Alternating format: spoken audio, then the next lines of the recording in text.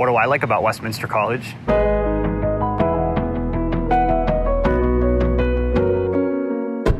What's not to like? I like that we work together, in and out of class. We're all on the same team. I like that we actually do the things we learn. We get real experience for the real world. I like the support we get from faculty. They're not just professors, they're mentors. I like that I'm a part of something real.